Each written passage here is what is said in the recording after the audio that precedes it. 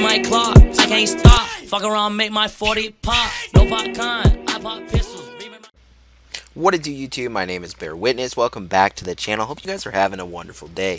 Now, and today we're playing, uh, we're talking about Blackout, and uh, I, there's a big problem, guys. And I think the biggest problem stems from how slow the gameplay has become. Now, Blackout was one of the most fun battle royales I've played, and I've played most of the big uh, name battle royales. Uh, there's some that are just on PC that I haven't played because I don't have a high-end PC, but I've heard that they're really good. Anyways, that's not part of the topic, but today we're talking about it's just it, the gameplay has has gone down and I don't know if it's new game freshness that was that was checking me out or what but it seems almost as if it's taken on this campy aspect. Now, there's three big issues that I think that are contributing to that. So, sit back, relax, and here's here's what we're going to talk about. Now, the first thing is the merit system. Now, the merit system, if you guys haven't played the game, is a system in which every time you get a kill, a top placement, or a challenge completed, you get a certain number of merits. And those merits contribute to your overall rank, which tells people what rank you are inside of the game.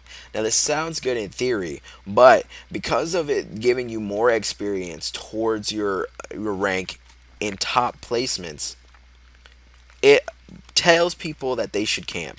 It makes people want to play a little bit campier, especially in situations in which, you know, you're in a squads game or you're in a duos game and your teammate dies and the thing that you're thinking about is, yeah, at least I can get a top spot and we both can get a bunch of merits. Now, I'm not sure that everybody thinks like that, but I do think that there is a big possibility that that could be adding on to how slow the gameplay is because people are trying to get to that top spot. Now, obviously, people are going to get to that top spot, but would you rather work for that top spot by killing people, or would you rather camp until you're in that top spot and then you have nothing to worry about?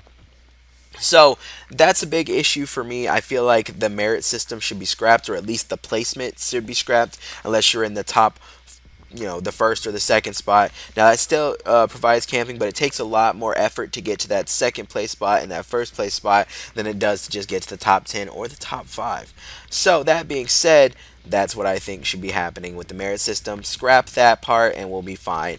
Now, next up, we have the black market. Now, the black market supply stream, battle pass, whatever you guys want to call it, is a new system, kind of like, like I said, the battle pass in Fortnite, where you get cosmetics and gear through playing Blackout and multiplayer. Now, this only rewards you with experience towards your Blackout meter if and only if you you play you spend a lot of time in game. Now, this sounds good in theory, but one, you get no experience from spectating. Two, you get no experience from kills or anything else. So because it only comes from playtime in game, it provides an aspect to the game where you have to kind of just camp. Now I don't think that that's something that everybody does, but I do think that because it's becoming crunch time and because it is so late into the supply stream, we've only got a little over 11 days to complete the supply stream to get to tier 200, to get Hudson and the Blinding Glory ICR, which could potentially never show their faces again inside of Call of Duty, which would be the smart move by Treyarch, you know, because if it's an item that you can get at some other point in time, why not just wait for it? But that's a different topic for a different video.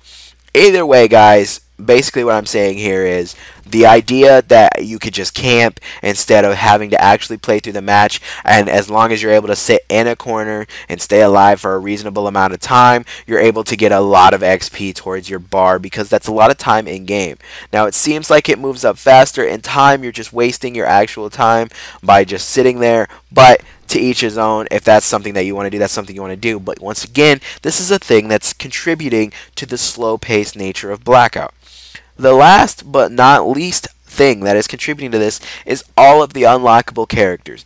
This system should be completely wiped. Instead, they should add challenges in order to make it more difficult, but it should only be those challenges. You shouldn't have to get a top spot inside of the game to unlock those challenges because what happens is this is that they hold on to these items and they camp They camp, they camp, they camp. And like I said, guys, I'm just as guilty of this because it is the easier option. Obviously, you always want the easy option because it's a lot better than getting frustrated at the game.